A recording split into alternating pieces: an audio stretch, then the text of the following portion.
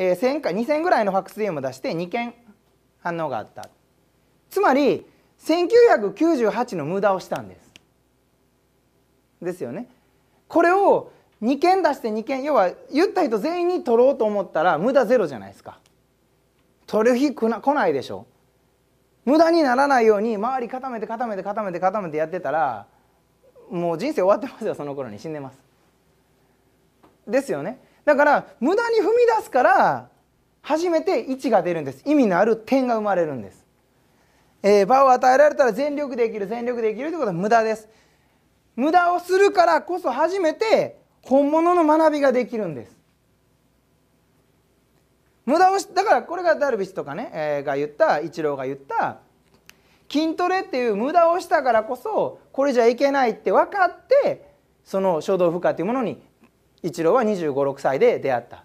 そして今選手寿命は42歳までいってるわけですね。要はそれが間違ってるって分かったからそれを信じることができたんですよ。その間違いに出会わずに最初からそうしたらやっぱり筋トレの方がいいんじゃないかっていう気持ちが残るでしょ。そうしたらもしかしたら間違った方に行くかもしれません。筋トレの方に行くかもしれないでも一郎は6年間7年間筋トレっていうことを全力でやったからこそ筋トレの未来がないな筋トレは違うなっていうことが分かったから残り20年近くね、えー、15年20年近く筋トレじゃない方法を信じてやれたんですよ。つまり本物の学びができたんですよ。だから無駄にこそ本物の学びがあるんです。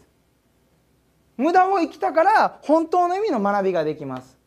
そうしてイチローは自信がつけるわけですよね。だから、ね、あんなに成果を出してるね大谷君だってダルビッシュも要は日本日米両方でもエース級ですよあの人たちはね。世界でも10本指に入るぐらいのピッチャーです。その2人がそういうトレーニングしてるっていうことでああれはダメだよねって平気で言うわけですよ。彼は無駄をして本物の学びをしてそして本物の自信になったからです。自分が体験して違うって分かったからこそ自信を持って言えるんです。僕も一緒です。僕が皆さんにとかかなりのたくさんの人に僕かなり断言します。いろんなコンテンツで。大丈夫かと思いながらやりますけどね多少は。かなり断言します。でもなんで断言できるかって言ったらそれは僕は本で読んだだけじゃないからです。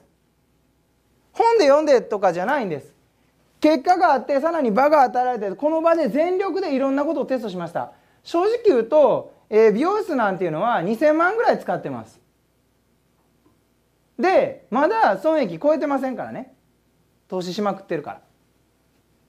ようやく来月ぐらいかな。いけるかな、えー、プラスになるんじゃないかなと思ってます。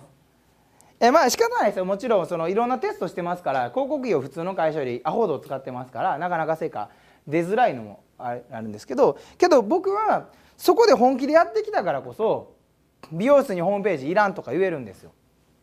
いらないから。順番が優先順が低いです。けど僕は場で全力でやったからこそそして勉強して本間もの自信をつけました。全てここの無駄がこの人たちを生み出してくれてるの分かります？無駄が生み出してくれてるんです。この無駄が全ての原子になってます。源泉になってます。そして本物の自信をつけたから一切ぶれることなく発言することができます。発言をやめることはありません。人からどう言われようが関係ありません。まあそういう考え方もあるよねと思ってますよ。まあどうぞどうぞそういう考え方もあると思います。ただ僕だって僕が実際現場で経験して体験してそして勉強して、えー、自信をつけたこれを繰り返してやったことですから僕だって自信がある。これが本物の自信でそして人生を変えてくれるのは発言です。全ては発言から始まります。発言しないと何も始まりません。結果も起こりません。発言するから、えー、何らかの結果が起こります。そして場が与えられます。これの繰り返しです。ひたすらこれの繰り返し。ですのでコントロールできませんここ。関係ありません。コントロールできるのはだから面白いですよ。人生変えようとしたら正しいことをやめることなんですよ。今皆さんは時間がないだけでいろんな選択をさせられてます。そうすると時間がないお金もない制限がある失敗できない正しいことだけやろうでしょ？つまりここの中から出れないんですよ。出れないでしょ？だってその考え方だったら。ねもうお金もないし時間もないし間違ったことなんてやる余裕がない。だから正しい選択だけするしかないんだ。つまり今日と同じ場所にいれば明日も生きれるんですよ。最高ですよね。そのマインドではそれがゴールです。